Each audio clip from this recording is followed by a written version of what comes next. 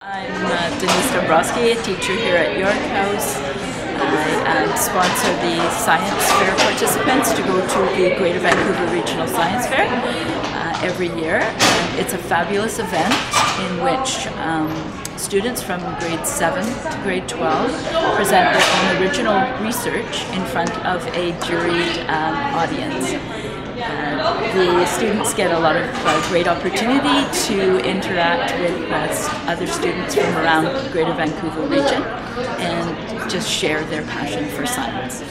Uh, their topics are generally chosen based on um, their own personal interest. We have some organizations in Vancouver who are willing to help students find mentors should they want to access specialized lab equipment. And all of these projects this year were done with a mentor in uh, labs at universities or um, other research laboratories. But that it doesn't have to be the case. Many students go um, with uh, more kitchen home type style um, projects and they are equally as valued as long as the scientific method is um, followed. It's pretty advanced level, especially the grade 11 and 12 students. They, um, Kayla has uh, pursued her project topic area for a couple of years and so they can get to a fairly high level expertise in their subject area. I would say that most of the students who participate in Science Fair do go on into science after um, York House. My name is Jessica and I'm a grade 11 student. Uh, the name of my project is HER2 overexpression in high-grade endometrial cancer and how it's associated with short survival rate.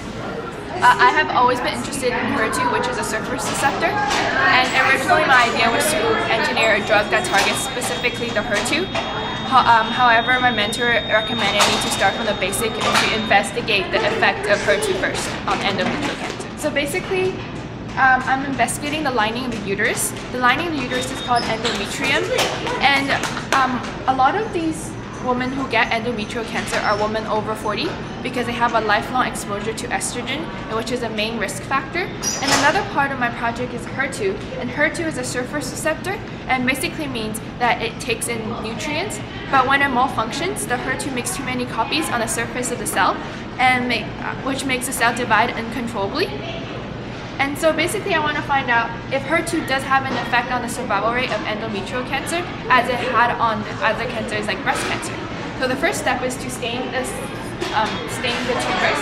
And so these tumors, this is a 0, and this is 1 plus, 2 plus, 3 plus, and they're all graded but depending on the amount of ex expression. My results which supported my hypothesis, which is that if there is HER2 overexpressed, the survival rate of endometrial cancer is a lot lower. Um, my name is Elizabeth and I'm in grade 9. I got a gold medal and I qualified for C CWSF, so nationals for two years in a row. Testing the effect of soft tissue on the torsional and compressional strength of porcine spines. So what I wanted to do was see whether the surrounding soft tissue had any effect on the strength when it's tested. One of my mentor's friends um, works in ICORD, which is where I got, where, which is where I was testing, and she was she was showing me some of the stuff they did in the lab to kind of get give me a sense of like what happens in that lab.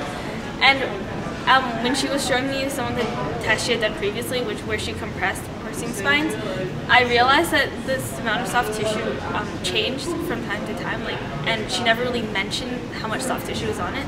And so I kind of asked her whether people consider how much soft tissue is on the spine when it's being tested, and she said that no one has really paid much attention to that part of porcine spine testing, so I decided to look more into it. Porcine spines are pig spines, and so I was testing the top part of the pig spine, which is so your upper neck, so the upper pig spine neck, which is equivalent to your lower your lumbar spine, which is your lower back spine, and um, the surrounding soft tissue basically included the muscles surrounding the neck and the tendons. And so I wanted to see how much of an effect it had on the strength of the spine compared to when it had the soft tissue and when it didn't. And I figured out that in torsion, which is when you're turning it, um, the soft tissue has an effect on the torque and the stiffness, but when you're compressing it in compression, it has an effect um, on the force but not on the stiffness so it requires a greater amount of force to compress the spine but the stiffness is about the same. I'm Marissa. And I'm Kayla. I'm grade 10. I'm grade 12. And yeah, we're sisters. So the title of our project is Duck, Duck. Goose. An application of DNA sequencing. So basically in our project what we were trying to do is see if we could sequence the DNA and process down feathers because the DNA is so degraded we didn't know if we could so we did that using the FINS method and we were successfully able to sequence 3 out of the 12 samples.